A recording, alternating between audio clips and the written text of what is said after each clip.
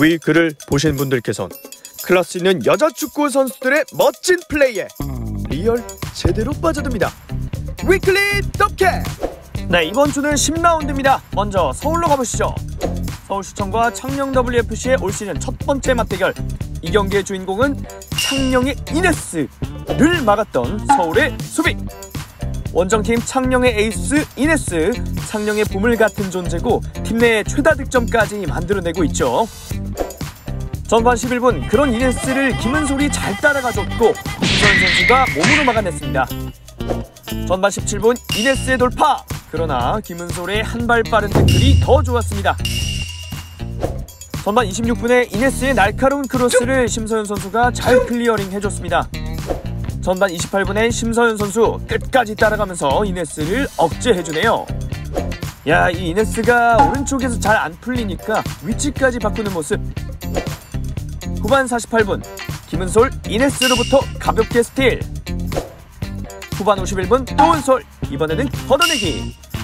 후반 85분 또 또 은솔. 아 오늘 김은솔 짱입니다. 짱.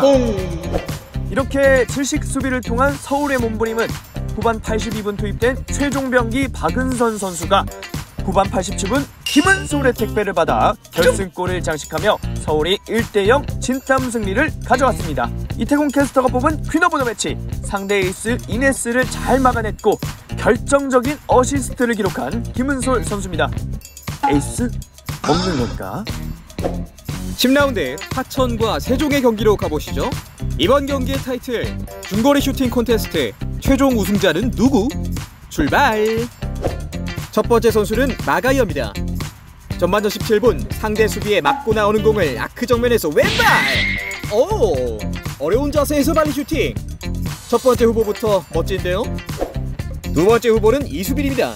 후반전 51분 이민아의 패스를 받은 이수빈 박스 안쪽에서 지체하지 않고 슈팅! 오! 강가의 골키퍼 막아냈습니다. 골문 구석으로 갔던 좋은 슈팅 이수빈도 강력한 우승 후보가 되는데요. 아니 이렇게 각자의 매력이 있는 슈팅들인데 이러면 우승자를 누구로 해야 되나? 그 강력한 우승 후보 바로 전반전 11분에 등장했습니다. 화천의 수로인 서광 갑자기 등장해서 공을 받아낸 박자혜 그리고 오른발 wow 박자혜 미친 오른발 정말 환상적인 포물선이었습니다. 사실 중계하다가 저도 정말 깜짝 놀랐습니다. 이렇게 해서 오늘 경기 중거리 슈팅 콘테스트의 우승자는 바로바로 결승골의 주인공 박자혜 선수입니다. 다음으로 보은상무와 수원FC 위민 맞대결 보러 가시죠. let's go! 경기 시작되자마자 수원은 아트를 보여줬습니다. 전반 5분 보은의 패스미스, 송재은 문미라, 메바의 문미라, 문미라예요! 깔끔한 오른발 마무리! 이게 바로 알잘딱깔센 이런 축구 제가 너무 좋아하거든요. 수원 1대0 리드. 수원 골킥. 오, 야, 야, 야, 어, 큰일 날 뻔했어요. 28분 송재은 압박 성공. 야, 너무 잘 밀어줬다. 문미랑 문미라 또또또 문미라요. 오늘 멀티골 시즌 8호 골. 거 아니야? 수원이 돼요. 돈 따라가야죠. 전반 추가 시간 박스 안쪽 이정민 낮게 컵백 수비 고, 공격 수, 수비 고, 고, 공격 최가경 약간은 어리둥절 하지만 득점 인정 보은 따라갑니다 스코어 1대2 하지만 후반전 수원이 경기를 끝냅니다 송재훈 툭 쳐준 공 뒤쪽에서 추효주예요 추효주의 추가골로 스코어 1대3 그대로 종료되면서 수원이 원정승을 따냅니다 오늘 경기 queen of the match 멀티골 문미라 또 있지만 송재은을 꼽고 싶습니다. 수원의 선제골 송재은부터 시작됐고요. 뒤이은 결승골과 추가골 모두 송재은이 만들었습니다. 조연이 있어야 주연이 있는 법. 이번 경기는 경주한수원과 인천현대제철의 경기였습니다. 오늘 경기는 우승 경쟁을 하는 두 팀의 맞대결인 만큼 많은 관심 속에서 경기가 펼쳐졌는데요. 하지만 이 경기만큼은 결과보다 선수가 중요했습니다. 전반 3분 이민아 선수가 벼락 같은 슈팅으로 인천이 먼저 경기 시작을 알렸습니다. 이후 최유리 선수가 본인의 장기 스피드를 활용해 기회를 만들어갔고 최유정의 슈팅까지 연이어 터지면서 경주한 수원을 위협했습니다. 하지만 경주한 수원도 곧바로 기회를 만들어갔습니다.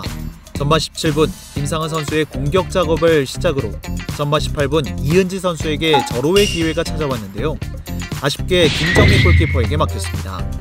뿐만 아니라 박예은 선수의 연이은 중거리 슈팅까지 있었지만 득점으로는 연결되지 않았습니다.